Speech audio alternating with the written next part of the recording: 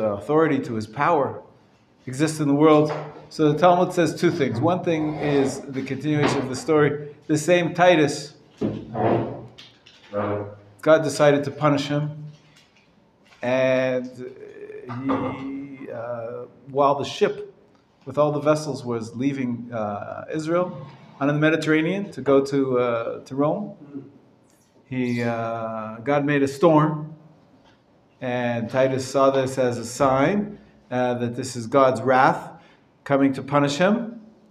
Apparently, it was in the consciousness that this is a big deal. How can we be destroying the temple of Jerusalem?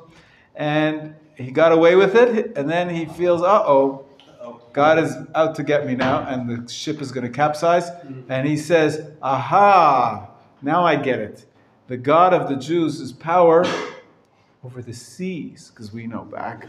We all know from the Old Testament that, you know, split, God could split the sea, and uh, you know He saved Moshe in the water, and so okay, He's powerful in the water, but not on land. And God heard this, and He said, "You think you're powerful? A little mosquito is more powerful than you are." And He calmed down the seas, and He made it so that a little fly fell, flew into Titus's nose and lived in his brain and started to give him headaches and um, really annoy him. And there was nothing he could do. And for years, till the end of his life, Titus lived with this horrible, horrible headache. As a matter of fact, they say the Talmud describes it as follows: that uh, when he uh, he was just in such pain near the palace in Rome where he was living, uh, they started to do construction, and when they started to hammer and bang, the the fly or the mosquito, whatever it is, stopped to to to because the noise bothered him. The noise interrupted it. He said, "Ah, wow! I got a solution." So he hired somebody to take a hammer and and hammer right next to him every day, until eventually the fly uh, got used to it too, and so he continued. That didn't help him either. They say that when he died, they did a post mortem what's that called? Uh, Corpus. yeah, they they uh, autopsy. They did an autopsy, and they found inside his skull a tumor, uh, a fly the size of the size of a bird. The size of a bird. It was so big. It was so big. Anyways, this is uh, just to teach him a little lesson that, you know. Uh, but the question remains: Why did God let? And how could it? How could it possibly be that that this physical Roman general could destroy a holy temple. And the Gemara says, tachant. What you have grind, ground into flour to grind, you ground flour that's already been ground. So you think you came and you took something that was whole and complete, like the kernels of wheat, right? And you turned it into flour. No, you didn't. It was already destroyed. The idea is did Titus destroy the temple? No, he destroyed sticks and stones.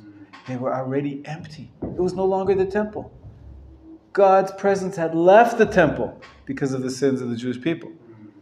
So Titus didn't really destroy God's holy temple, he destroyed an empty building that was already empty of the, the divine presence. God had, had left. And so it's flour that's already been ground. That's what you ground up. You didn't grind up anything of significance. You, could, you, it would be impossible. There would be no power over if God's divine presence was there. How could somebody so impure and and uh, immoral defeat the, the the holy and pure God and His temple? Impossible. Must be that it was no longer considered to be a holy and pure temple. And it's already ground up flour first grinding was done by the Jewish people. The destruction really was not done by Titus. Fine, he burnt the, the, the building, he, the, he took the vessels, but they were already empty. They were already, uh, already, it was taking something that was already devoid of holiness. And even so, he had to ultimately uh, answer to, for his deeds. And even a tiny little mosquito is greater than the most powerful Roman generals It's an amazing, amazing midrash describing the destruction. Uh, apparently, no one knows the actual cause of his death.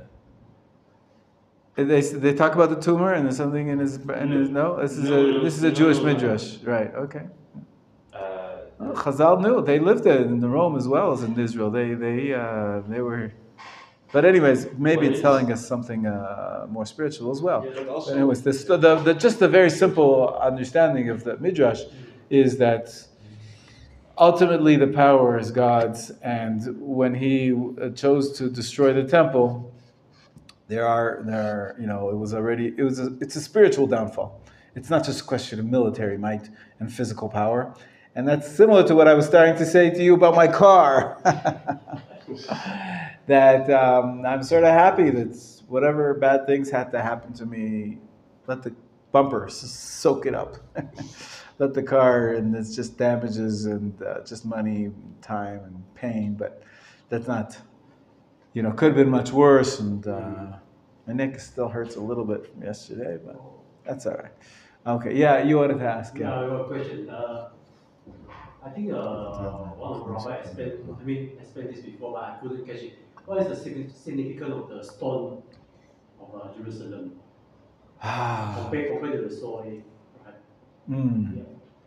So it's called the foundation stone, right? The, the, the, the bedrock underneath the Temple Mount, of the Mount Moriah. And the tradition tells us that this is uh, the foundation of the world. If the, when the world was created, and it's very interesting. You know, we usually we think about. Um, okay, so here's the earth, and then here's the mountain, and so we think that the earth grows from the ground up. Like, you know, we have trees here and they grow, right? Everything grows from the ground up. There's a principle that is obvious, but uh, the Kabbalists speak about it in more explicit language, and they say, you don't understand. The physical world is the lowest manifestation of the true reality. Uh, the true reality is, of course, God, who is much beyond the physical world. And what happens, the, the Kabbalists described that the, when the world was created, God had to create something from nothing, nothing uh, in terms of the physical realm. And slowly but surely, there was some kind of a step down from the, you know, ultimate uh, spirituality, there's a step down process through all the levels, each, each level being a little bit more physical, a little bit more connected to uh, matters that, that we can relate to. Like we discern and distinguish the different elements and the different parts of reality. Until finally, finally, at the end of a five step process, there was the first point of contact. Right? What's that picture with the, the, the finger? It's uh, what's it? Is it Michelangelo? Michelangelo? Yeah, where is it? In the Sistine Chapel, I believe.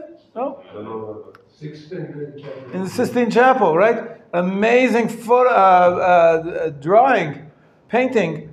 Um, as a matter of fact, they right now, if you look at it, it looks like this. The fingers are not touching, but they actually did some some analysis, scans, and they see that earlier versions of the painting they had them actually touching. It's a fascinating concept. What, what is the, the point of contact between godliness, between uh, the ultimate spiritual reality of the world and the physical world? So our tradition says the first point of contact, POC, it's in, in, in computers they use point of contact, Liz, right here. Here we have, this is the Temple Mount. This is the foundation stone. Foundation stone. at the stone, uh, this uh, Jacob lied down, and he had a dream. Our tradition says that was also uh, connected.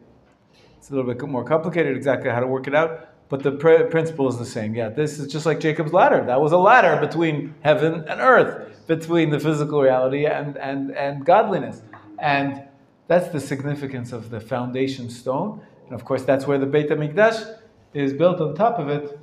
The Beit HaMikdash, you know, as we know, with the, uh, the wide facade in front of it, and then the uh, the building going out this way. Okay. Anyways, yeah, my art is not uh, my first uh, skill. In any case, the point is uh, absolutely this is um, the house for God in the earth. If God's going to dwell in the earth, there has to be some point of contact.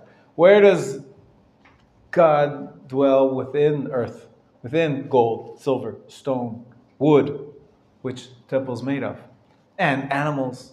Right? This is very much this worldly.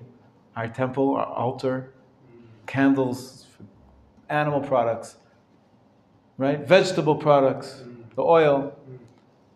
All of that we use to serve Hashem.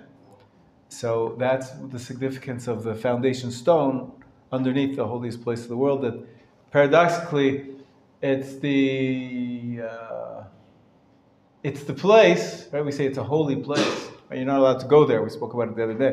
You're not allowed to enter that area because it's called holy. You know, uh, be, calling anything holy, anything material, holy is very problematic. Because what do the pagans do? Right? You take an idol, take a piece of stone or, or wood, and you say, oh, this is God. You're investing godliness into, into matter, into, into physical matter. That's Avodah Zarah. What's going on here? It's a genius, a beautiful idea. What is the holiest space, physical space in Judaism? The foundation stone. Why? Because essentially it is the closest we have to antimatter. Essentially, what it represents is this. right? This is what we celebrate. This is what we, we, we, we realize and we proclaim that God is not just in this world, but He encompasses this world in a much greater uh, entity or, or existence, which is beyond the physical. And so that's what the holy space in Judaism represents.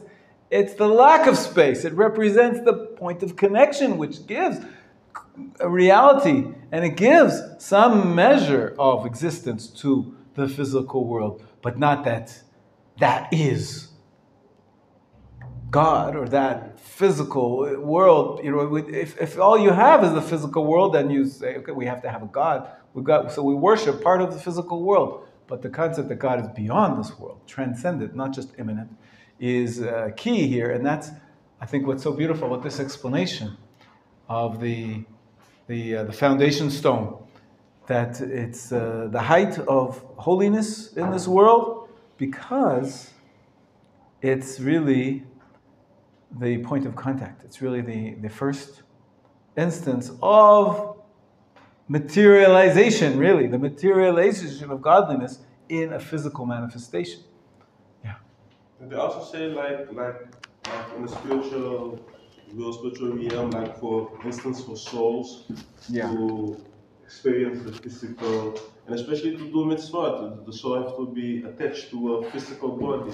So they also say like all spiritual matters have also like that kind of point where they can attach to where they say also like Right. it's like a portal of, or no, a vortex a, por- vortex like a, a bridge like you know what you say Right, right, right, right, right. Listen, the, the Chabad, they, uh, the Lubavitch, they have 12 verses which they teach the children to recite. One of them is from the Lubavitcher Rebbe, uh, his, his forerunners. It comes from the Kabbalah. It says uh, uh, that HaKadosh Baruch Hu, Hashem wanted to have dira betachtonim. He wanted to dwell in the lower realms. Specifically on purpose, it's only here in these realms that we can put on tefillin, that we can do mitzvot, that we can do mitzvot ben adam lechavero, and then uh, and, and apply and expand that spiritual reality into the lowest, lowest places in the world. Um, he didn't create angels; he created people, people that have uh, all the most animalistic parts to them and the rest of the physical world as well that doesn't even have uh, a human soul. Created even mosquitoes and flies. but they're all here to do His bidding, and Hashem wanted specifically that we should reveal His presence even in the most lowest worlds and the most mundane and materialistic uh, spheres of our daily uh, daily life and, and existence, and we're always trying to become aware, remain, keep ourselves in tune with that interface, with that uh, relation, with those fingers touching, or almost touching, or, or attempting. Like they say in uh, there's something called you might have heard something called Reiki. Reiki is. What is Reiki?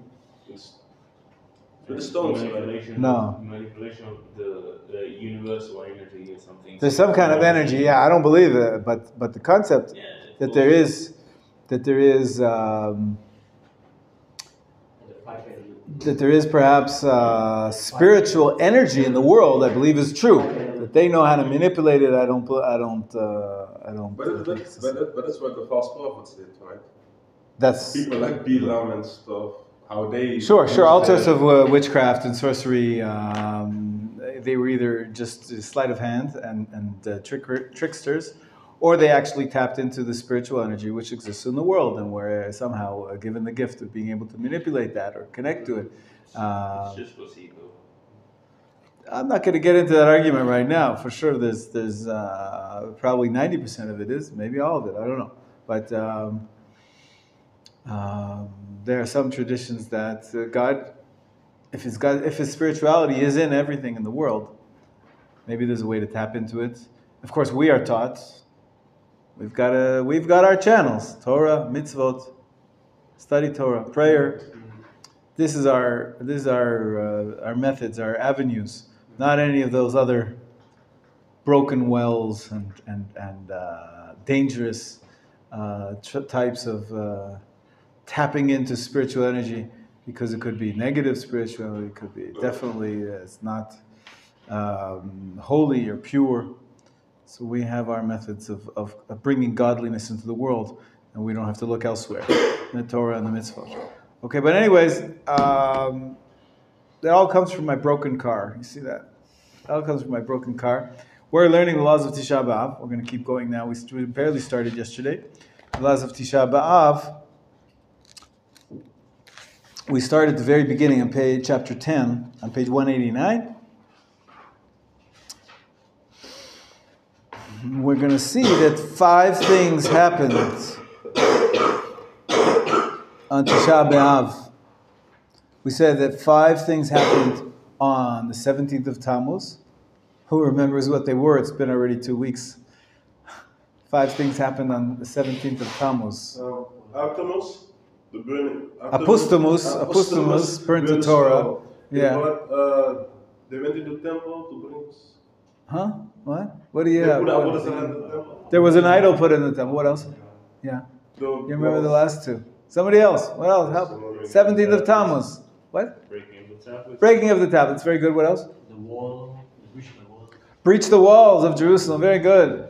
In uh, in the first temple times, and also in the second temple times. So uh, twice, the two temples, the um, the burning of the Torah, the idol. Yeah, they bring the, The- right? Say again. They bring they bring the pork inside Right, right. We we we uh, we read that midrash how they uh, every day they would be lowering down some money, and they would be hoisting up a sac- an animal for sacrifice. And one day they hoisted up a pig, and that was the uh, the sign of the beginning of the end of the uh, reaching towards the destruction of the second temple. Very good. So those are the five of Shiva Tammuz. But what five things happened on? The ninth of Av is what we're up to now. Also, the Talmud, uh, the Mishnah tells us there are five things that happened on, on the on the ninth of Av. Take a look. Let's take a look. Okay, uh, Gabriel, read for us, please, page 189. The truth is, I'm going to let you read this section uh, yourselves. And um, quietly, each of you read to yourselves. I want to uh, discuss it with you when we get to uh, section 3. So read 1, 2, and 3. Sections 1, 2, and 3 silently. Page 189 to 193. Okay, and we'll take it up in about uh, seven minutes. Sounds good? And I'll be right back.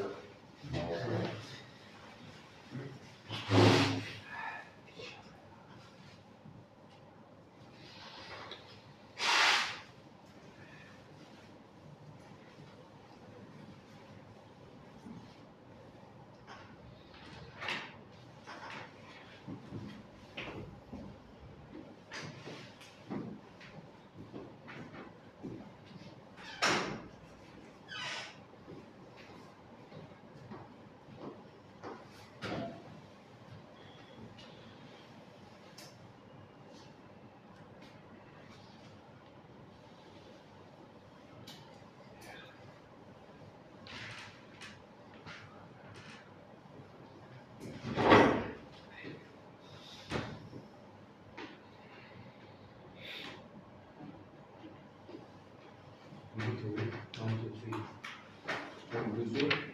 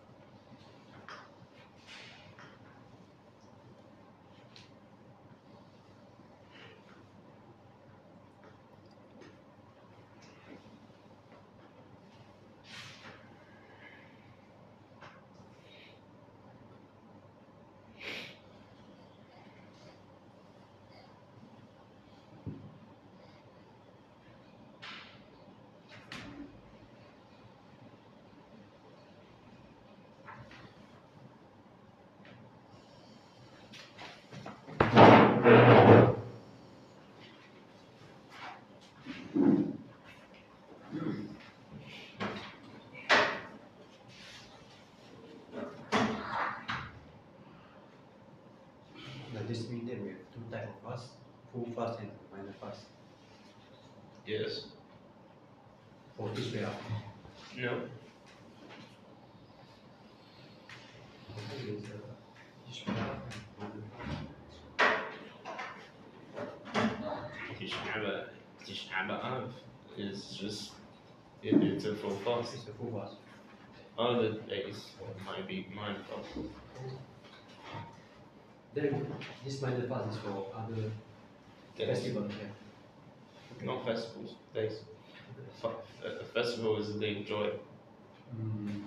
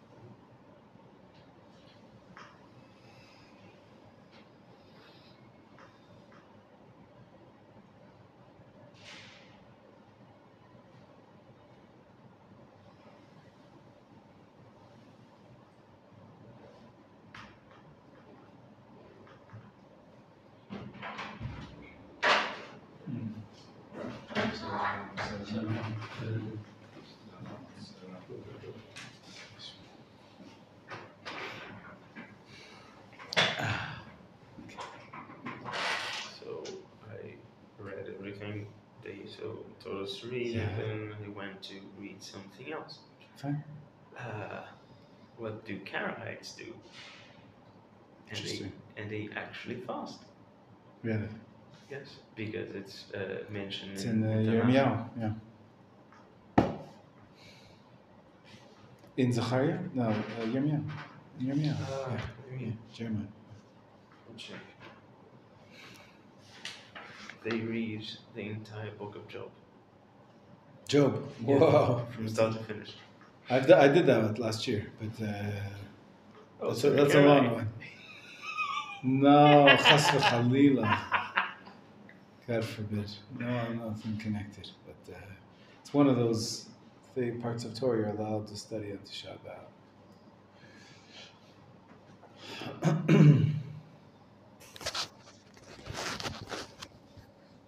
Jeremiah. Yeah.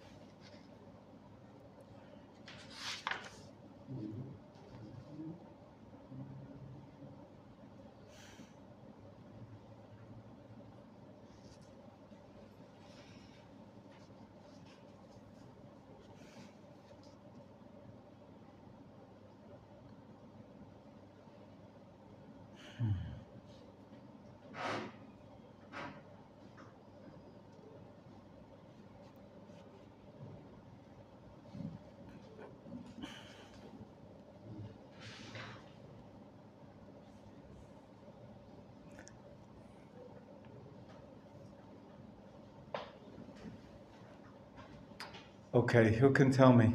Uh, you ready? You guys finished? You finished uh, one, two, and three, or no? You need another minute? What are you up to? You passed number three? Yes. You're on page 192. Everybody got to 193? Okay, I got to 193. Perfect. Okay, so let's discuss it a little bit. Who can tell me the difference between some differences between Tisha B'Av? Ravid, are you all right today? A little bit uh, preoccupied with other things. You're okay. What are the differences between Tisha B'Av and Yom Kippur? Yom Kippur is the happiest day of the year. Happiest day of the year. Right, you're right. It's it's it's happy. Why is it happy? because uh, the names that get written in the book of life. Yafa, Yafa. That's the day we got forgiven. We got forgiven for forgiven for the sin of the golden calf, and the breaking of the tablets happened on the seventeenth of Tammuz. Ultimately, gets gets rectified. We get the second set of tablets on Yom Kippur. So it's a day of forgiveness. Very joyful to be forgiven. That's uh, for sure. And your Tisha B'av, by contrast, a sad day. It's a day of mourning. Okay, and, and how does that express itself, that difference? That Yom Kippur is happy and the Tisha B'Av is sad? No greetings, no no uh, songs, no reading, no nothing. No, I mean no study. Mm-hmm. So, so that, that expresses joy that we can study Torah on Yom Kippur and we don't study Torah on Tisha B'Av. But what else? Because what's the same between Yom Kippur and Tisha B'Av? What's the same? The same. What is the same? The Fast from the, the day, the long of the fast. The length of this is 24 hours, you're right. And also, We don't wear red. So We we don't five there's things. five things are prohibited, both on Yom Kippur and Tisha B'Av. Food and drink, Uh, Washing. washing, Anointing. washing, anointing, shoes. Wearing leather shoes, and marital relations are all five that are forbidden on Yom Kippur and forbidden on Tisha B'Av. There's a say. So how are they different? So you said we, we can study Torah on Yom Kippur, and not on Tisha B'Av. That's good. What else? Amos, Amos, go ahead. You- you go. Amos, go ahead. We don't greet people and we sit on the floor on the first half So two things. So greeting also, uh, Gabriel said, very good, very good that uh, on Tisha B'av we're not supposed to greet people. We're sort of we're all mourning, and we sit on a low chair. We sit on a low chair. Yom Kippur, we can even sing and dance. We don't need, uh, if you're not afraid, because it's it's a day of forgiveness, but it's also a day of judgment. So it's sort of the end of the period of judgment. So sometimes our joy is tempered somewhat by the by the uh, judgment. But you're right. Ultimately, it's a day of forgiveness. We're promised forgiveness. We have to do tshuva. We have to we have to repent for our sins, and that can be to make it a little somber. But ultimately, we're promised that this is a day of forgiveness. Whereas Tisha B'av, a day of the destruction, and yes, we have, must sit on the floor. Um, one other thing, Micha. What else? Uh, on Yom Kippur, we have uh, the prohibition of the melacha. Uh, Good point, but good point. the- Tisha B'av. Well, we're going to discuss exactly what and and and Tisha B'Av. Definitely not Doraita, and and uh, for the most part, uh, there's no prohibition of the you know the 39 categories of work which we say on Shabbat. You're not allowed to cook and to sew and to write and to you know turn on uh, flames and light flames. All that does not apply to Tisha B'av 100. percent But that doesn't really necessarily express the fact that it's um, joy versus sad. It's just that It's you know, it's not a biblical, uh, it's Yeah. not a biblical holiday, the, the, the So Tisha B'Av. Uh, so we don't make up uh, prohibitions from nothing. It's not, it's not a biblically ordained uh, day of, of rest like the uh, other festivals are and like the Shabbat is. So Good, good. One more, one more, one more uh, differences. People uh, must must fast on Yom Kippur. I mean, for Tisha they they can be exempted. Good, very good. You're right. The question is, how sick do you have to be to allow yourself to, to eat? On Yom Kippur, really sick. How sick? in the hospital. Deadly. Hospitalized. Deadly. Danger to life. Yom Kippur only if it's going to be danger to, to, to, to your, your life. You could actually, you know, cause death. Are, are you allowed to eat? Which does happen. People can get dehydrated and really die. So it's a dangerous thing. So, but at Yom Kippur, you need to get to that level of illness where it's a danger to your life. That overrides, just like danger to life overrides Shabbat, overrides Yom Kippur as well. When Tisha B'Av, you don't have to be so sick. The very fact that you're very sick, talk about the definition of how sick you have to be. But even if you're not, there's no danger to your life.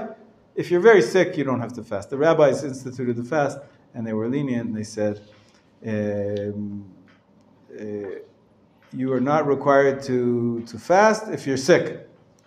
We'll talk about exactly how sick exempts you. Uh, but uh, you're right, 100%. The Yom Kippur, it's a different level of sick. That's only danger to life sick. Whereas Tisha B'Av, if you're really sick, you can eat and drink. Yeah. So, uh, can, it, can you uh, make preparations to break the fast, like prepare the food to break the fast during? It's a good question. Yeah, there's no problem to do that. Even on Yom Kippur, of course, Yom Kippur you can't cook, and you can't light a fire. But but on Tisha B'av you can. So you can cook. Yeah, you can cook. We're going to see that the afternoon of Tisha B'Av, towards the last few hours of the fast, there are some leniencies. There's sort of uh, the, the, the intensity of the mourning is primarily focused on the night and the, and the morning period. The morning period, we sit on the floor and we recite the kinot. We're going to discuss those special poems which talk about the destruction. But once we get to midday, Chatzot Hayom, when the sun is directly above us. And the latter half of the day, the afternoon of Tisha B'Av, there are a few leniencies. And we start to talk already about the redemption coming. Tisha B'Av is also the, the tradition tells us when Mashiach is born. From the destruction, hopefully the seeds of, of redemption will come. And there's a custom to, to sweep the house, to get ready for Mashiach and we're allowed already to sit on a regular chair. You don't have to be sitting on the floor. It's only up until midday that we sit on the floor. And so yeah, there's this, there are some changes, but. Um, mm-hmm. Um, midday, mincha is usually after midday, so sometime, uh, but even before mincha starts, the minute uh, uh, there are some people that are lenient after they finish the kinot. In the day, in the old, the old, the old, the ancient custom is that you recite Kinot all morning, four or five hours. There's plenty to, to, to study there and to mourn and to, to appreciate. But nowadays, a lot of people don't have that concentration. And uh, so they finish it. Sometimes they skip some of the Kinot. You only do it for an hour, two hours, three hours tops. But then you, it's not yet midday. So some people are lenient. They say, as many as you, once you finish kinot, that's good enough. But the, the strict halacha is you should only uh, sit on a regular chair after midday. So we're always looking at what time is chatzot. My back is killing me. Sitting here on the floor, crouching down. What is my and my my tuchas? My tuchas is hurting me, so I need the, the chair. What time is midday? And midday you can sit on a regular chair. You still all the other elements of the fast exist don't think people start to get a little bit lax of the other things. No, you can't take a shower and you can't anoint yourself and you can't eat and drink, of course. Really, you're not even allowed to learn Torah. Most parts of Torah bring joy. We'll talk about that. But um, there are sometimes classes given, but they should be classes that stick to the rules of being those parts of Torah which are uh, sad. I have no problem giving classes because everybody is so sad when I give classes. Nobody laughs, nobody is joyful. My classes are so hard and so painful that uh, on Tisha B'Av, that's the best day. I said, yo, you want more pain? Come to my class, I'll give you more. okay, questions, comments? Yeah, okay, Amos, and then uh, Micha. Yeah. I remember from the last time when we discussed that, that some people even lay down they, they don't lay down on the bed on the ground. They don't let. They don't correct, correct. There, there is a tradition that we have to. One second, Gabriel. Yeah, one second. One second. We'll do one at a time. So uh, there is a tradition that you should sleep not in the normal, comfortable manner that you sleep every night. Uh, some people actually, uh, well, just like you're not supposed to sit on a high chair, you're not supposed to lay down on a high bed either. So you should put your bed, take your mattress, put it down on the floor. Put it low. It should be low, just like the, the Well, chair that you sit on. Beds, original Jewish beds with a second thin mattress on the floor. Yeah, actually, they, they speak about in the laws of Avelut, there's, there's something called loosening the, the ropes. What does that mean? Basically, they had a frame, like uh, the beds in the dorm. You've seen these, these metal frames, and then instead of putting um, a piece of wood on top with a mattress, they would have uh, strings. Strings which were pulled tight, taut, so that you would be lying on these strings. Maybe on top of the strings, you'd put some some some straw, maybe a mattress if you had a blanket, whatever it is. But the bed itself, other than the frame, was made out of strings. And a person who was avel, one of the laws, of course, we don't have those kind of beds nowadays, so it's, it's hard to translate it to our beds. The, the law was you have to untie those strings. If you loosen those strings, what happens? The, the middle of the bed, that what was the mattress, instead of being high up from the floor, it's now sagging down towards the floor. So some people today they say we should practice that even though we don't have untying of, of strings because we don't have string bed. Uh, although I did see once in, in India somebody making up a bed like this with with uh, very intricate uh, method of tying tying it uh, tying strings around the frame, very beautifully done. I should find it uh, and send it to you, but uh, that's probably what they did in the times of the Talmud or some version of that. But anyway, so they say you should take your mattress and put it low. Other people say we don't actually have to sleep on the floor. Uh, and if you take your mattress to the floor, it's almost as comfortable. The point is, you take it down a notch. If you usually sleep with two pillows, you sleep with one pillow. If you usually sleep with with uh, one pillow, B'Av sleep without a pillow. You don't have to go down and put your mattress on the floor it because it's. This is halacha. It's, it's, it's, it's halacha. It's halacha that you should. Uh, that we're going to see it inside. From- From the Talmud, everything I was describing now, I said about loosening the, the ropes of the bed is from the Talmud. We're just trying to translate what that Talmudic instruction is to our modern day. We don't have any strings. I loosen the strings. What am I going to undo my shoelaces? I'm not wearing my shoes anyways. so, so we have to change the manner that we sleep. Is the principle.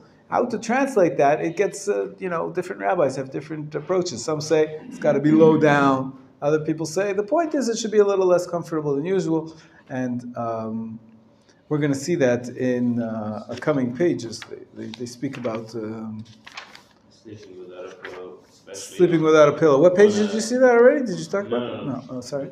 You're saying yeah. I'm just saying that, like, s- sleeping without a pillow on a day, on a fast day, is a recipe for disaster. Because you wake up with a headache and then you can't take the medicine. Yeah, yeah, yeah, yeah. It's hard these these uh, mourning customs. It's on page two hundred five. We're going to see it a little bit later when we get to it. They they talk about all the different uh, customs and.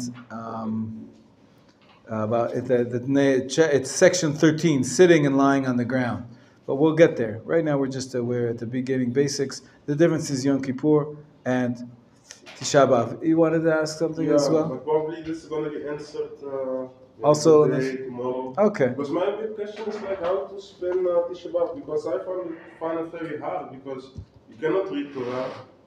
Eicha is the smallest chapter in the whole Tanakh, so I was always like, yeah, sitting. uh, right I that's a good question I don't know what to do because uh, I don't, you cannot. Actually, But uh, also- I Good question, it's a gonna- good question, yeah. I was gonna ask something that might help you. Okay. Uh, uh, what happens in uh, like during the, the holiday during the day at uh, the Western Wall? Because the because I'm, I'm thinking about going. people sit on low chairs they don't so they, many of Yeah, them you'll see what- that they actually take one of the chairs during the day. People come and they pray. Uh, primarily, you're supposed to mourn for the temple. So, reciting the Kinot, other than the book of Eicha, which is only five chapters, we're gonna. I'm gonna show you the books of Kinot. There are hundreds of pages. So that could that could uh, fill a couple of hours. If you're gonna go uh, and if it's in Hebrew and you need to translate it, and you go line by line and try to understand all the metaphors and all the, the, the midrashim that are described and the historical context, it could take you all day long, let alone until midday. But um, there are other things you can do if you can only pray for so long or mourn for so long. Uh, we mentioned that there are some sections of Torah that you're allowed to study other than the book of Eicha. You are allowed to study uh, for example, and uh, the Midrashim, which speak about the destruction of the temple. The laws of mourning, actually, you're allowed to study, just quite a lot. And um, it's, it's not so much fun, you're right. But many people, because uh, if you're re- used to studying Torah, like everybody here, you're all scholars, you're in yeshiva, that's what you do for fun, right? So you study Torah of this kind, okay, instead of this book, I'll open up that book. Not the end of the world, but somebody who's not used to studying Torah. I wouldn't say Michael, I put our Michael Ari in that context. Some people, they, they're used to playing on their phones. Or they're used to watching movies or Netflix or something like that. So for them, that's really hard. What are they going to do? To study Torah, you tell them, read Iyov. They'll read one chapter and they'll pull their hair out. They, will, they, they, will, they want, they're not used to that kind of activity. And so we have to come up with, with alternate activity because really it's not appropriate to the point is, uh, we're going to see it later. You're not supposed to remove your consciousness from the destruction. You're supposed to be mourning all day long. So we, uh, many many times we send around lists of links to movies about the destruction, historical dramas and so forth. Or uh, some people say you're allowed to study Musar because ultimately, what's the point of a mourning? There's two reasons we fast one reason we fast, as we said with all the fasts, is that we do tshuva, to spur us to do tshuva. And the other one is, of course, fasting is an expression of mourning. So the mourning part is very difficult. The introspection, reflection, how to improve my ways, what do I need to work on, that's something you could spend a lot of time on as well. And that's uh, without any book. It's really not a question of study, it's a question of, of self self help, working on yourself, and your uh, think about what needs fixing in your life. Maybe we and, should uh, start recruiting all psychologists to go to the Western Wall and just make it's, sense, a, like it's a great idea. Sure, it's a great idea. Recent years, a lot of the, the a new custom has developed. People have trouble um, connecting just by reading texts. They're finding it uh, much more uh, moving if if you sing. And so there's been this this sort of um, grassroots movement. You're going if you see, you mentioned what happens at the Kotel. Uh, the last few hours of Tisha B'av, there are going to be groups and groups and groups, hundreds and hundreds of uh, boys and girls, men and women, who are singing, singing mostly Jewish soul songs. Some of which I taught you last week. Bilvavi Mishkan Evne, remember that? In my heart I will build a temple. Um, uh, many similar songs about Jerusalem, about yearning for God to return to the Jewish people. Many, many slow but meaningful songs. Songs about unity. That's everybody knows that that's something we have to fix and we have to rectify. There's always room to do tshuva about that. We're always fighting with each other, us Jewish people. they say that the temple was destroyed because of Hamas. because of I mean, disunity. That's right, hatred between the Jewish people. Is the And word is the, the word mentioned Hamas? Hamas is, is mentioned by, by the flood in particular, and it's a form of, of, of a sin, which uh, might have to do with like forced forced uh, theft and, things like find that. it- I just find it so amusing that that's the word. For our enemies, right? We have this the enemy terrorist group called Hamas, and Hamas is also in Hebrew. It also means uh, in Hebrew it means uh, horrible uh, theft and, and thuggery and and uh, stealing. So it is uh, uh, ironic. Okay, page one ninety one. One night- one night is on. 191, number three, the prohibition of eating and drinking and the status of sick people and postpartum women. Okay, so the it lasts 24 hours, not just 12 hours. The bottom, the last paragraph says we also see that sick people are exempt from fasting on Tisha B'av. and that they need not limit themselves to quantities that are less than a shiur of eating and drinking. Only on Yom Kippur, which is mandated by Torah law, which even sick people must observe, must one eat less than a shiur when possible to avoid breaking the fast. On rabbinically instituted fast, however, sick people are completely exempt. Once you reach that level of sick that's defined as sick, you can eat anything you want. Maybe not ice cream, right? Not ice cream, but you could eat anything and you don't have to limit yourself. But um, several Achronim write that it's proper for sick people to be stringent and refrain from eating and drinking on the night of Tisha B'Av so that they participate in the community's pain. We want you to participate a little bit. No ice cream. Or maybe fasting for a couple of hours, even if you know the doctor says you have to eat after four hours. So fast for three hours. In the morning, though, they may eat and drink as needed with no limitations.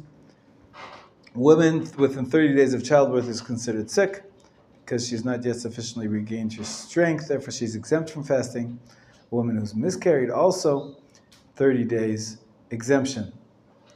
Okay, there's more definitions of how sick you have to be, and he says that's in section 7 7. It goes back to the laws of the fast of Shivasar B'Tammuz and the minor fasts, where he describes that somebody who's really sick, that is to go lie down, who cannot function, then he doesn't have to fast anymore. And that's the type of question a lot of rabbis get before the fast, during the fast. Uh, my wife is pregnant. My wife is nursing.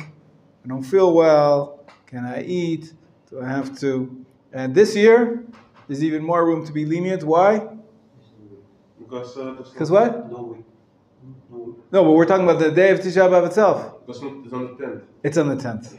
It's not on the 9th. We're fasting on the 10th, not the 9th. It's a delayed fast. And so it has a little bit of a weaker status. So there's even more room to, to be lenient. But you should be healthy. I, I wish and bless every one of you here to not be pregnant on Tisha B'Av. right? Speaking only to men. People uh, at home, maybe who knows? Maybe we have some women. For you, I bless that you should be pregnant on Tisha B'Av. but uh, all the all the men um, should all, neither be nursing either. Uh, so, but hopefully, you'll, your wives, your wives will be uh, in their childbearing years, and um, this is a very practical question. Okay. Um, the custom is that pregnant and nursing women, even though they're exempt, they start to fast. They try to fast. Many pregnant women can. They can uh, fast, and but you know it depends. There's nine months of pregnancy. There's the first trimester, the second, the third trimester, and uh, many women feel worse. The first trimester is vomiting, and and uh, you know all sorts of uh, that could get you dehydrated, and it's much more dangerous to fast. But in the second and third, you may be feeling very good, and if you, you know, uh, you eat enough and drink enough the night, the day before, then uh, it shouldn't make any any uh, harm. If you if if a woman is able to, she should fast. She should try to fast uh, until she feels ill. If she feels ill, then of course she can eat like everybody else. If they feel so ill that you you, you need to lie down, then you're exempt from the fast. But otherwise, even a nursing woman, a nursing woman uh, a lot of women are, are fearful that if they don't drink for 24 hours, then they'll, they'll lose their milk. Right? The, the breast milk, uh, it really depends on how much the mother uh, eats and drinks. And, and um, the baby may not suffer. Nowadays, there's formula. You can give the baby all sorts of uh, other types of supplements. But it depends. There's different medical advice. Some people say there's nothing like mother's breast milk. This is the healthiest thing in the world, and the baby doesn't have to suffer because the mother wants to fast. And so uh, it really uh, depends on the circumstance. But um, there's great evidence to show that if a woman prepares properly uh, by drinking a lot for the days leading up to the fast, she's able to make it through an entire 24 hours and um, no, uh, she won't lose her milk, and the baby won't have to suffer.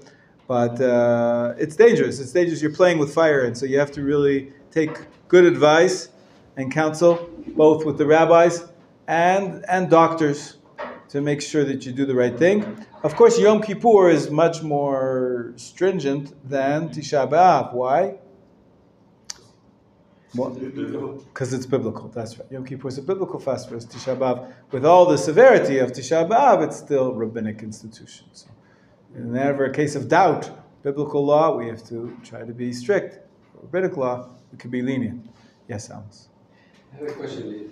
If, uh, if you are doing a job like in the hospital or in the army or police office or, Mhm. or, or you are taking care of someone who is very sick and you Mm. need to lift him up Right, take care right. of him and you need the strength and then you, you, you by fasting you can get to the point that you will start to feel like you are not able to fulfill your requirement uh, on the level you should Right, how what is the situation then how we deal with this right. It's a good question. So uh, we're going to come up. We're going to speak about working. Really, ideally, you shouldn't work. You should not be working on that day. but like you said, there are circumstances where somebody has to work, and if there's nobody else to do the job, then you have to do it. Like you said, police, um, or the army, or or somebody's a nurse or a doctor. Uh, somebody's got to do it, and so if you have non-Jews that can do the job, terrific. But if if you're on the job, so for the most part, we say you we don't give you uh, an exemption at the outset. You have to try to fast. Try to fast, and then if you start to feel ill, then you're ill and you're exempt. So the regular rules apply. But um, someone who who is uh, you know on a very important security mission is in the army, and if he doesn't eat, uh, he won't have strength to, you know, complete his mission. Obviously, the mission in the army, it's many times a matter of life and death. And so uh, there's leniencies for, for people on, on duty in that way.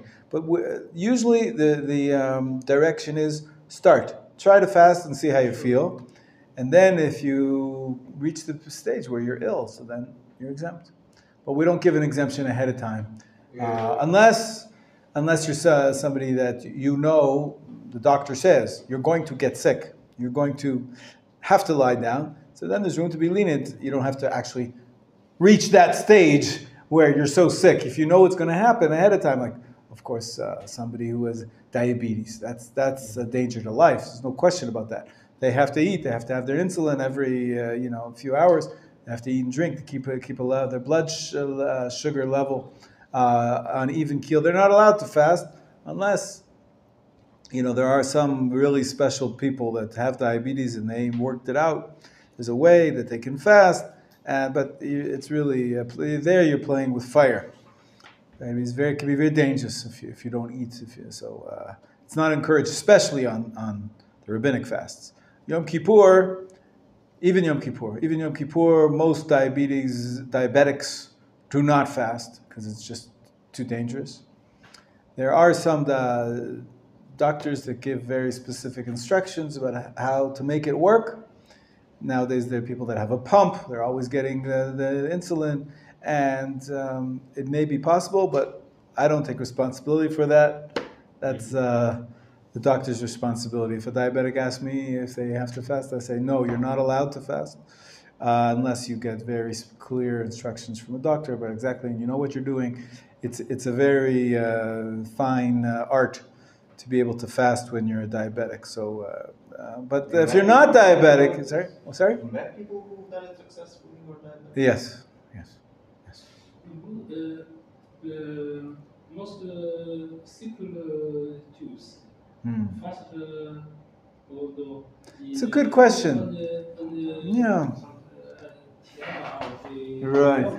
It's a good question. There, it's, uh, um, we all know that it's been a, a couple hundred years now that many Jews left uh, daily observance of the mitzvot of the Torah. They were drawn out from the Jewish communities to the to the uh, attractions of secular life, or or uh, assim- they assimilated into the cultures that surrounded them.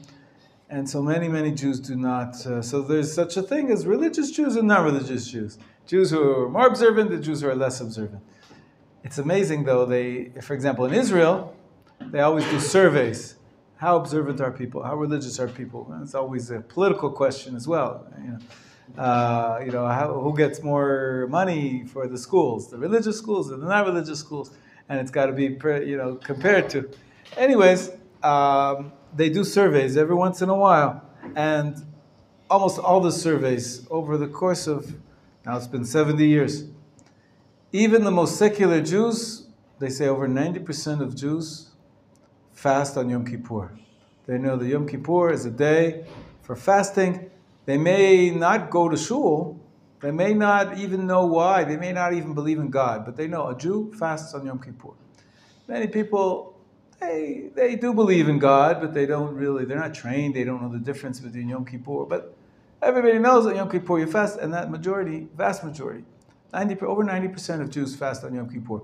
Tisha B'Av, not the same level, not at all, not, not anywhere close. Also by law, Tisha B'Av, uh, Yom Kippur is a day of rest. It's a day off, there's no work, there's no buses, there's no... Uh, stores that are open. There's no restaurants, there's no supermarkets. Everything shuts down on Yom Kippur. It's the one day of the year, there's no cars on the road. It became so much that everybody knows there's no cars on the road, it becomes a festival of bicycles. People are riding down the highway on bicycles on Yom Kippur, one day a year. It's fascinating. Um, in any case, Tisha B'Av is not like that. Tisha B'Av, there's no law that you can't uh, go to work, and there's cars, and there's buses. There is a law that the night of Tisha B'Av, there's no theater, and there's no restaurants and pubs and, and dance, dance, uh, dancing uh, uh, salons are all closed. You have by law because it's the national day of Jewish mourning. It's a little bit of Jewish pride. We're Jewish. This is the Jewish country, so we have to express that. So people know about Tisha B'Av, because of the laws. And uh, of course, on the radio, they're going to be marking it with sad songs, maybe. But it's not uh, that everything is closed. Not everything is closed. And uh, so less people fast. I'd say more than just uh, some secular people fast too. People who are very nationalistic, feel connected to the Jewish people's history, they say, wow, this is the Jewish day of, of mourning. And uh, so some people, even if they're not religious, they do fast, but very few. I'd say a majority of the people fasting on Tisha B'Av are, are the religious people, but people know what Tisha B'Av is at least. Even if they're not fasting a whole day, maybe they're, I don't know, maybe they're not having parties like they are on other nights of the, of the year. So, yeah. Question is, is, uh, is some differences between Ashkenazi and Sephardi B'Av? Very few. Very few? Very few. Yeah. It's very ancient tradition, goes way back to the Talmud and the codes, and here and there there's some differences, but uh, very few differences. The bottom line is the same five uh, things: the sitting on the floor, reciting kinot, the, the Torah reading we're going to speak about. All, all this is, is very, very similar.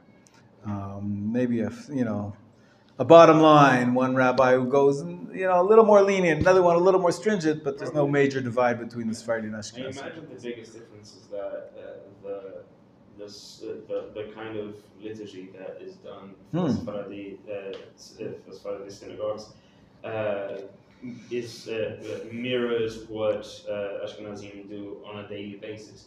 Because on a daily basis, uh, as far- Ashkenazi synagogues are depressing.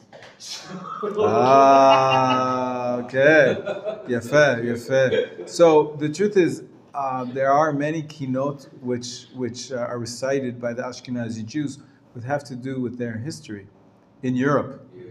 The Crusades and the Khmelnytsky massacres and the, the burning of the Torah in the, in the 1300s. And there are many poems which mention Jewish history that happened particularly in Europe. So those are going to be stronger in the Ashkenazi communities, whereas the Sephardi uh, kinot might focus more on the destruction of the temple and the exile from Judah, but not so much on the you know the, the Middle Ages because they didn't have the same type of uh, experiences.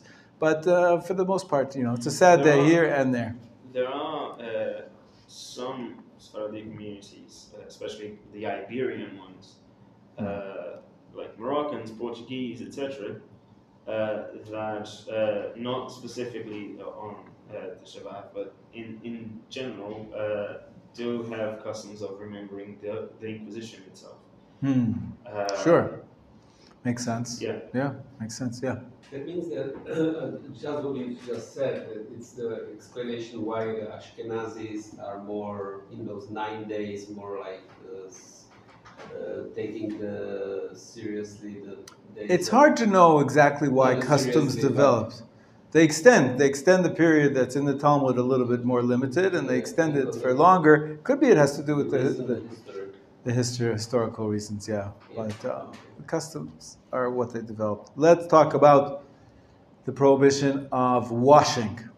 Page 194. Yes. One quick, one Yeah. thing because it didn't mention uh, children. Right. Children, essentially, I think you did mention it, or, or um, we're going to discuss them about each and every prohibition. But you're asking specifically about fasting, right? About eating and drinking. So children do not have to fast, of course. Until They're like sick people. They don't have to. They don't have to fast until they're they're of age, until they're adults. So you know, men uh, 13, the women uh, 12. The Talmud says the year before or two years before, we train them to fast a couple of hours.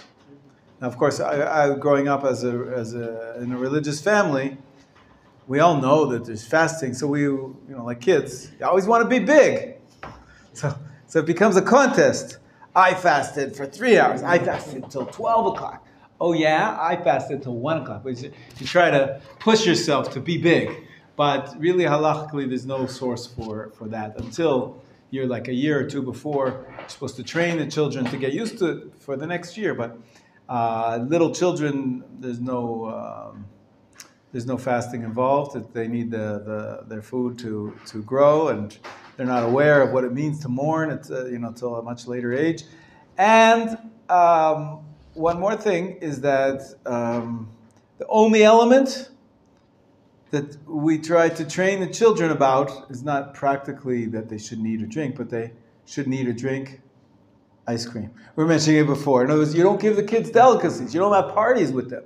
You give them food. They need to eat. They, they, they, they, they must eat.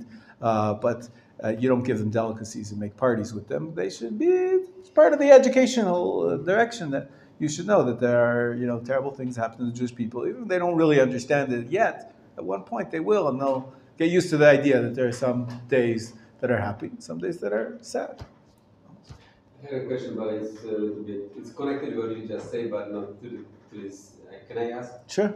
It's about um, like the guys, the, the, uh, the boys they made the bar mitzvah, and uh, then they don't. They sometimes even from the good families they don't go every Good time to the. Sh- I mean the good family. Those the father come to shul every every time that they didn't come for for minyan or something. That's is there something like they start to go later or how, how is that?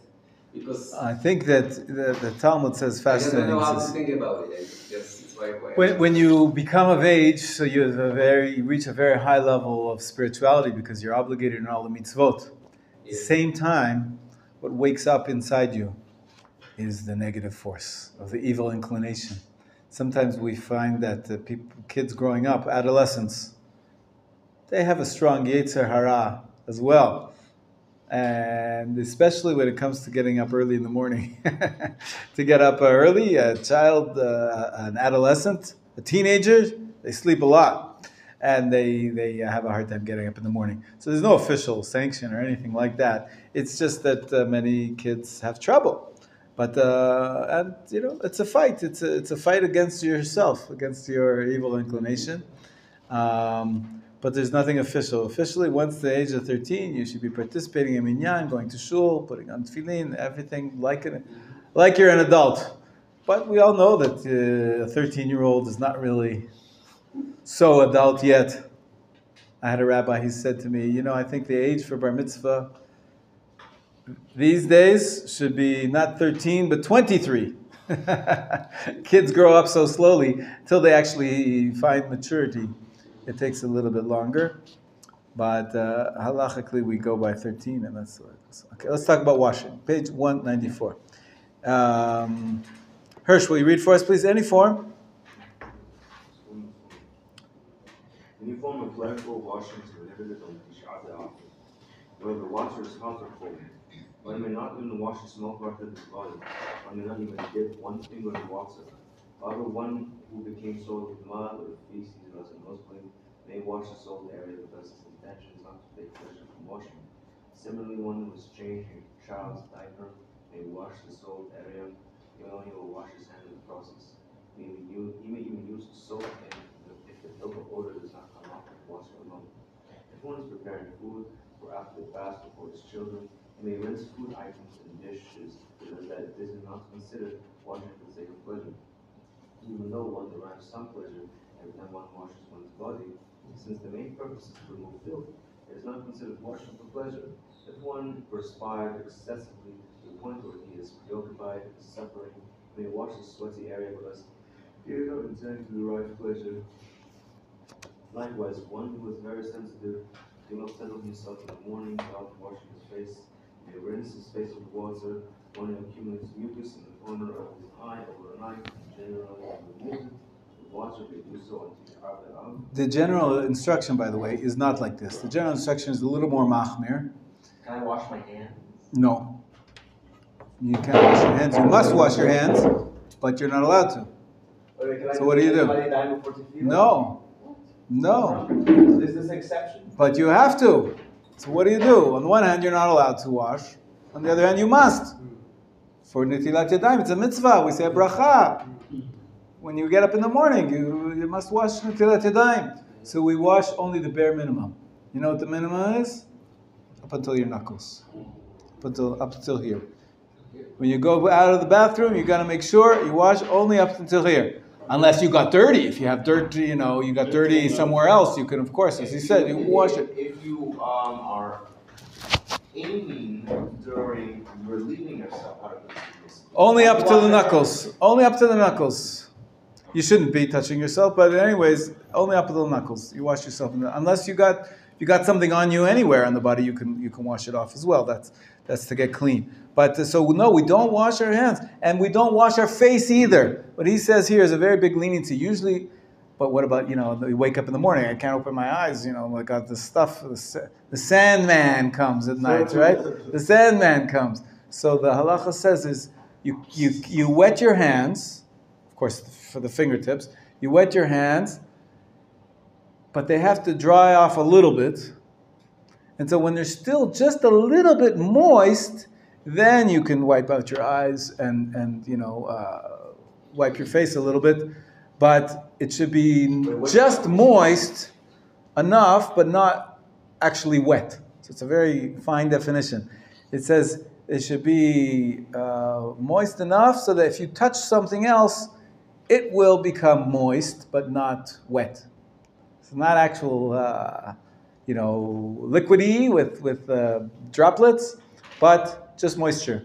And the moisture is that's the way you clean your, your eyes and your face on Tisha B'Av, but not uh, only if you're really distressed. He says, if you're very sensitive you can't settle yourself, so then you can wash your face, you wash your face and rinse your face with water. But really, the standard uh, approach is we do not wash our face on Tisha B'Av. We do not even wash our hands on Tisha B'Av, only up to the knuckles, and then we, we rub our eyes. We rub the sand out of our eyes with only moist fingers. Yeah, Hirsch? These knuckles these. These, this, this, yeah. It's called the third, the third joint. One, two, three. One, two, three. Making a mental note to not shaking one's hand sure. Yeah. Um, more than you can use soap uh, to get yourself clean if you're dirty, but if you're not dirty, it's just a question of ritual washing. We limit it. Yeah. But yeah, there was a. That's what exactly what you're asking. Yeah, we limit it only till here. Okay. Next, what about uh, brushing your teeth? Ah, so really, uh, you're not supposed to wash. If you're not supposed to wash the outside of your body, you're not supposed to wash the inside of your mouth either. Only in cases of distress. Like we said, some people really. anything. So why would you brush your teeth? I Well, don't, bad I- breath in the say morning? I'm gonna say it right now. I don't understand people that, that brush their teeth before they eat in the morning. Ah. It makes no sense. Well, ask your roommates because bad breath is a phenomenon that when you sleep all night you get bad breath. And, and so he says one may not rinse one's mouth on Tisha B'av. Nevertheless, one who will be very distressed if he does not do so may rinse his mouth and brush his teeth without toothpaste. That's too bad. We're worried that maybe you'll swallow a little bit of the toothpaste. It tastes good. You're not supposed to really be eating anything or tasting anything, only for a case of distress.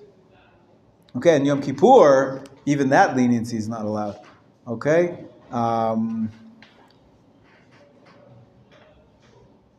you can see at the bottom of the page, he says what I told you. If the towel is not so wet, wet that it could moisten one's hand, to the extent that his hand could then moisten something else, that's the definition of, you know, it's not too moist. But, um, okay, let's go one more, cha- one more section because he talks about washing for the sake of a mitzvah in section 6. One may wash one's hand. Uh, Michael, are you read for us?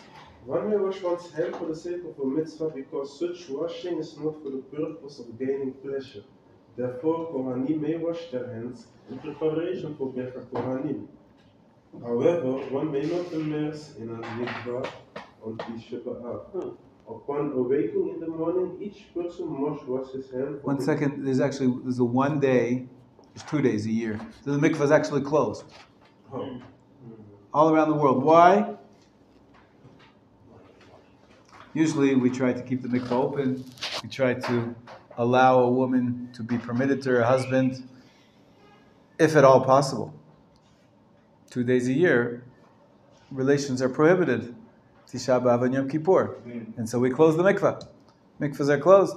Also, you're not allowed to, to, to bathe, but you know, you might say, "Oh, we'll push it so that you know we want to allow uh, husbands and wives to get together. It's such a holy mitzvah." But not on Tisha B'av and not on Yom Kippur. So that's the one day. Actually, use sometimes they use it for maintenance.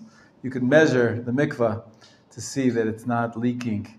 You can mark it and then wait 24 hours, and you see if it's gone down. So you can see if it's leaking. We usually do that. Use Tisha B'av for that because nobody's going in, nobody's going out. it is common to go uh, before uh, Yom Kippur, right? That's in preparation. Yes, Yes. there is there is such a Uh, custom. Is, yeah. is it the same for Tisha? No, no, no. Tisha B'av is not a holy spiritual day. It's a day of mourning. That's the Yom Kippur, as you mentioned, is even though we have the similar practices in terms of afflicting ourselves, it's a different, uh, you know, um, attitude. In Kippur, we're getting ready for being forgiven. We're getting for we're purifying ourselves. On Tisha B'av, we're mourning. It's a different, different concept. Uh, despite the similarities. Okay, washing one's hands for the sake of a mitzvah. Go ahead, Michael. Upon awakening in the morning, Upon waking in the morning, each person must wash, wash, must wash his hands from the tips of the fingers to their base, because an evil spirit rests on one's hands after a night's sleep and can harm all vices of one's body. In order to remove this spirit, one must wash each hand three times alternately. by the way, we mentioned earlier. There's three reasons we do Netilat Yadayim in the morning. Not only because of this evil spirit, which the Tosfot already said doesn't exist anymore nowadays, we're, we're machmir, but there's uh, two other reasons. Who remembers what they were? Why we wash our hands in the morning? So, a ritual like the Kohanim. Good ritual like the Kohanim. Each and every one of us is like somebody who worshiping in the temple every day. We're, we're worshiping God. We must uh, prepare ourselves like a Kohen. And the last reason is You can say the name of Hashem then. no, the bad forces. That was what we said. The evil spirits. What, what else? The You third can, reason. you can say the name of Hashem. That's right, because you might have touched something unclean. When you were sleeping, you might have touched parts of the body where they're unclean, and so you have to wash them up. Anyways, on Tisha B'Av, we got to get rid of this evil spirit, and we got other reasons as well. We do the three times alternately, but only up until the knuckles. Go ahead, after using the bathroom. After using the bathroom, one should wash his hands again once and recite the beracha of Al Netilat Yadayim. Because the saints institute the mitzvah to wash one's hand, one's hands with beracha in preparation for Shacharit. Even though we usually take care to wash the entire hand, On, on Tisha B'Av, one should wash only up to the base of one's finger, thus including the knuckles, because technically that is sufficient both preparing for Shacharit and for removing the evil spirit. Yes, continue. Yeah, go ahead. Le one should wash his hands before every prayer surface the year. Nevertheless, on Tisha B'Av, one should not wash his hands before praying, because doing so is not obligatory. However, if one touches filthy parts of his body and wants to recite sacred words, he should wash his hands because this washing is for the sake of a mitzvah, not in order to derive pleasure. There is uncertainty regarding the status of one who relieves himself without touching any part of the body that is usually covered, as perhaps he does not need to wash since he did not touch any filth. In order to avoid this uncertainty when one relieves oneself on the B'Av, it is best to touch a part of the body that is loosely covered and sweaty. This way, all agree that one may wash his hands until the base of one's fingers, including the knuckles, in order to recite the beracha of Asher Yatzar in a state of cleanliness. I got asked this question in the days of Corona. Hmm.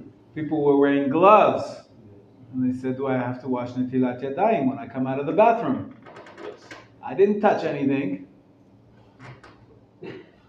I was wearing gloves. My hands didn't get dirty. As a as a chef, I can tell you that. Those gloves get dirty, but your hands didn't get dirty. The gloves get dirty for sure. So People, it, it, some, it, sometimes it's worse to wear gloves because you don't feel it, that the gloves are dirty, so you, you forget Mm. to wash them. Right, not good, not good. In any case, um, technically, so when leaving the bathroom, you may have noticed here in Machon Meir, they're very uh, nice to us. At, the, at every bathroom, you have a sink with a cup. Many people use the washing cup when they come out of the bathroom. And that is the custom of some, some uh, communities, some poskim. They say you should wear, use a washing cup when you come out of the bathroom. I don't. Many rabbis say using a cup for washing three times on either hand, that's something to do with the evil spirit. When you come out of the bathroom, we only wash to get our hands clean, for cleanliness, for hygiene. And for that, you don't need a cup, you need soap. That's more important. Right. Even if you use the three, even if you do use the cup, make sure to use soap to keep yourself uh, hygienic and keep everybody else not to spreading the germs. So, um, but it's uh, not everybody agrees that coming out of the bathroom you have to wash your hands with a cup. For bread, yes. In the morning, yes. But uh, just when every time you go to the bathroom, as long as you clean your hands, that's kosher. And that's why he raises the question that on Tisha B'av, maybe we shouldn't wash our hands if they're not, if they don't get dirty, that we don't have to wash them. Um, but the common custom is we do wash up until the knuckles after going to the bathroom, just in case we got dirty or something like that. Yes, Hirsch. So, just to clarify, soap on the Shabbat, even for hands, is absolutely a soap. No? If you got dirty and you need soap, you're allowed to use it even on all of your body. Yeah, yeah. I mean, like If, if I come out of the bathroom. coming out of the bathroom, if uh, if it's the hygienic thing to do, it's okay up until the up until the knuckles. Up until the Up until the only up until the knuckles. No No, So only, only this, this on. That's right. Unless you got dirt on it, unless you got uh, you know uh, you missed, right? If you got uh, if you were got dirty, so then you have to clean yourself, of course, with soap. But if you didn't uh, get dirty, so then just up to till the knuckles. Okay. Other questions, comments? I know it's kind of sad learning all these these restrictions, but it's coming up. It's coming up. We've got to get ready. We're, we're doing well. We've got uh, through about uh, 10 pages, another 20 pages to go. But we're going to continue with Hashem tomorrow. Talk about anointing oneself, oils, cosmetics, powders, etc. And shoes. We're going to talk about shoes. Rav Melamed is a little bit machmir here on shoes. We'll, we'll discuss it tomorrow. A lot of good, good questions coming up. Uh, unless Beit HaMikdash is built by Sunday. Maybe Mashiach will come. Any day it could happen. Stranger things have happened. So does the, does the whole temple have to be built? Does it have to be just beginning to be built? I'm going to ask Mashiach when he comes, and he'll answer that question for us.